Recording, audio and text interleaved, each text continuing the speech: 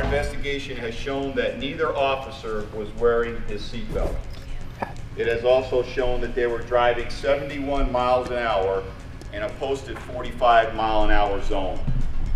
It showed that Officer Beitel was the driver of the vehicle, and that was confirmed by Officer Nishiwa, who spoke with investigators just yesterday.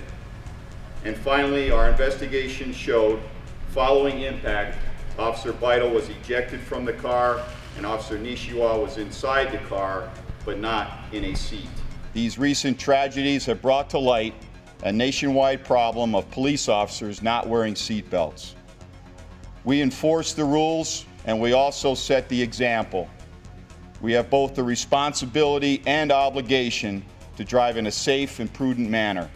Corrective action is being taken. Over the past several months, we began developing additional training and review of our driving policy to include having focus groups with patrol officers and supervisors to evaluate best practices for emergency driving. The deputy chiefs of our patrol division visited private sector businesses, for example UPS, to see if any of their safety practices are applicable to emergency driving.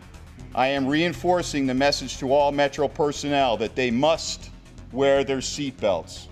Supervisors are being directed to take enforcement action if they don't. I would much rather hold our officers accountable by issuing citations or discipline for not wearing his or her seatbelt or for driving carelessly than to plan another funeral.